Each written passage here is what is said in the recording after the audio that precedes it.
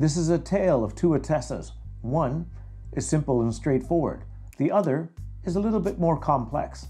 Both are beautiful, both are well put together, both are capable of delivering great sound, both are worth a listen.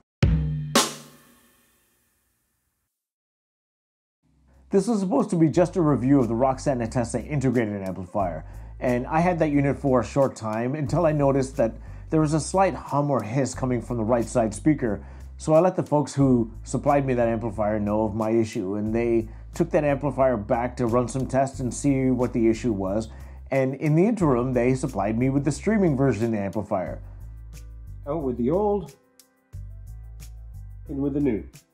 So for me, that's kind of a bonus, and I'm not going to complain about that. Both of the amplifiers are exactly the same. Both are 80 watts a channel into 8 ohms and 130 watts a channel into 4 ohms. They look exactly the same as well. It's only when you flip the amplifiers around to the back that you notice any difference. The integrated amplifier has connections for two speakers, moving magnet phono input, two analog ins, one with the ability to be put into AV mode, pre-out, sub, four digital inputs, two coaxial and two optical, Bluetooth, oh, and of course, the 3.5 millimeter headphone output. The streaming version sports a little bit extra. It has a network input, two USBs, one for the Wi-Fi dongle and the other for a thumb drive with music on it. Streaming is handled by BlueOS. I think it's really cool that in an amplifier lineup, both amps have the same power. The only difference between them is functionality, unlike a lot of times where the higher spec amplifier has more power and the lower spec amplifier kind of pulls back a few features so that if you want those features you have to get the higher powered one which you don't necessarily need. The design itself is gorgeous. Well, to me anyway. I can see how it's a little bit divisive. Hard edges, clean corners, bright amber LEDs, it lends to a masculine appearance. Personally, I was more than happy to show this off on a shelf or on a sideboard for everyone to see. The slimline and symmetrical chassis looks great. Dead center is a multifunction knob, which, if I'm being perfectly honest, I didn't use a heck of a whole lot. I turned to the remote for most of the functionality. I just didn't find it to be overly useful.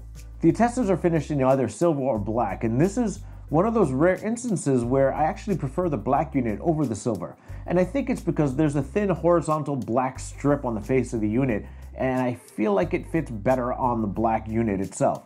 Unless you like contrast and then silver all the way. I feel like the LEDs play a part in this. Roksan went with bright amber LEDs, which, if I'm being honest, wouldn't have been my color of choice. White or at least a muted blue would have been better in my opinion. The bright amber LEDs make this amplifier look a little bit more imposing or at the very least intimidating.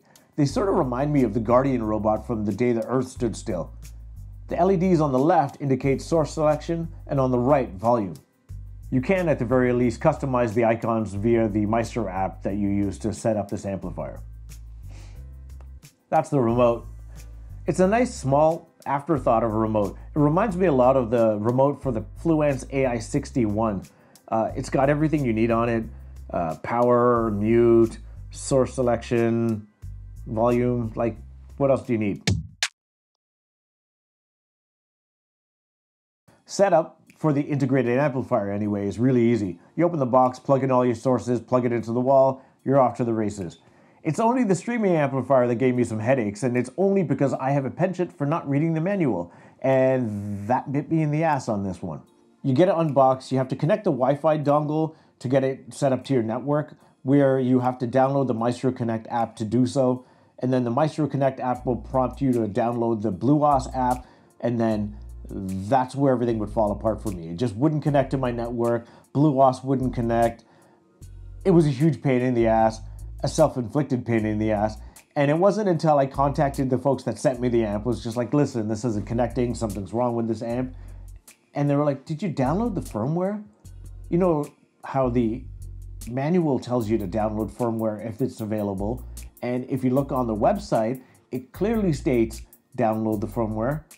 So I downloaded the firmware. Everything worked first time, no problem. Just read the manual, follow some instruction when you're doing this. It'll save you a ton of headaches, and I'm an idiot. Off the top, I gotta admit, BlueOS isn't my favorite. And I'm a bit biased because I use the Cambridge CXN streamer as my daily driver. I just find the UI and the access to internet radio stations so much easier. Uh, but I know some folks swear by BlueOS, so you know, tomato, tomato, I guess. I ended up using both amps as integrated for the most part. I only really use Spotify or the aforementioned internet radio stations for the most part. My NAS lies dormant most of the time, and I only break it out for these reviews. To be honest, it's more of a pain than a pleasure to use, and I'd much rather just run vinyl. Speaking of vinyl, the ground connection is really close to the speaker terminals on the back of the amp. Now, I got baby hands, so it's no problem for me, but if you got like sausage fingers, you might have a bit of a problem. Vinyl works perfectly when paired with the Cambridge Alva V2 turntable. The only big miss for me is the lack of tone controls. With amplifiers this well spec'd, it kind of boggles my mind that tone controls aren't included. I actually have a few amplifiers in the pipeline right now for review, and all of them lack tone controls. And it's just like, what? Why? Like, tone controls are the most tactile and engaging thing on an amplifier, like where you get the most feedback right away, where you can augment the tonality of the music coming out to suit your liking. And I get that within this uh, mid tier, I guess, of amplifiers where they're targeting more of the audiophile, that audiophiles want like uh, transparency and like true to life sound. I feel like the general consumer wants to just hear their music sound great. And if you have a poor recording, or I don't know, if maybe everything isn't set up perfectly and you're not sound treating your room and all these things, that you know, being able to plump the bass or turn down the treble a touch really, really helps out. And I don't know, it just it hurts my brain that tone controls aren't included. I do wonder if tone controls can be added in or maybe like basic EQ settings via an app or something like that after the fact to maybe add a bit more functionality in, but I really would like to see tone controls added into like all products going forward because like it's kind of a deal breaker for me. I normally don't subscribe to Break-In, but in this case, break in that amp.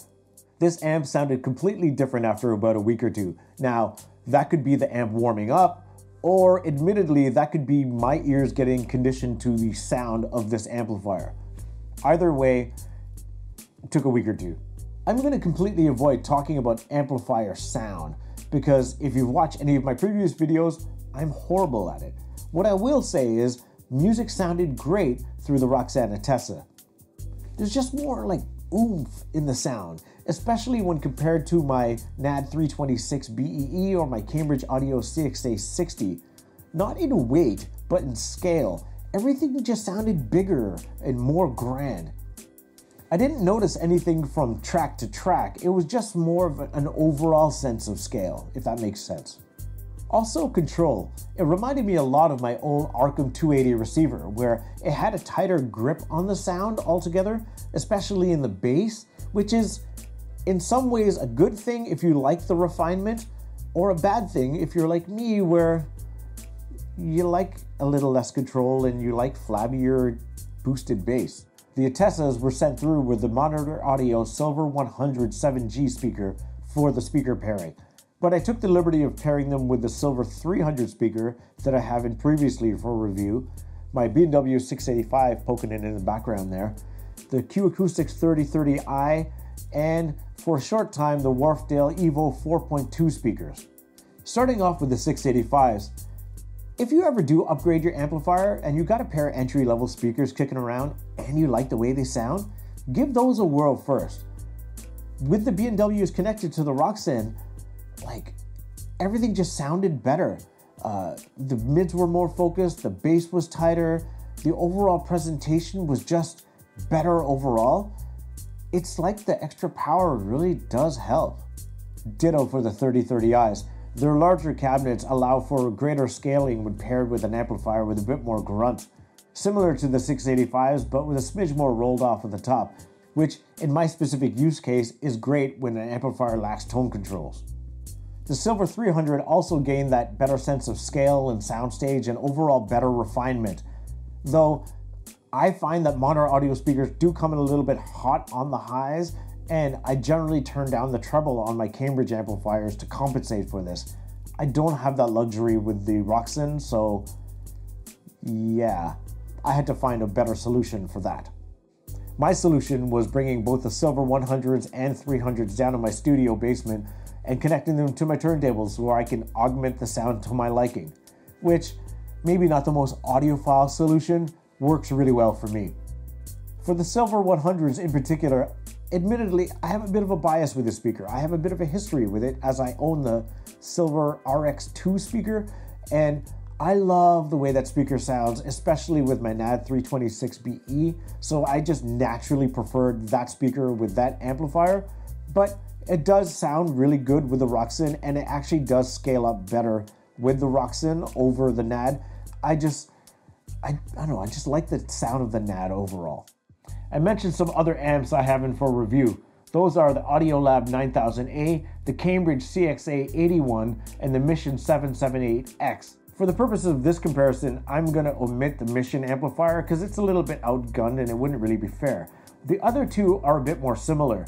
And while all of these amps have a slight variation in sound characteristic overall, they're more similar than not. And if you were to try to choose between these amplifiers, just superficially, it would come down to shelf appeal, functionality, and really brand loyalty because they're all fairly similar and they're all really great. And unless you A-B them with measurements or a more refined ear than mine, you'd be hard pressed to tell the difference between them. Both of the Roksan Attessas are well built and more importantly, great sounding amplifiers. And I think it's really cool that within an amplifier lineup, you have two that are essentially the same and you don't have to sacrifice in power if you don't want to go for the better spec option. Both are worth a listen if I was to pick, I would most likely go for the integrated amplifier because I have a streamer already, but option's yours.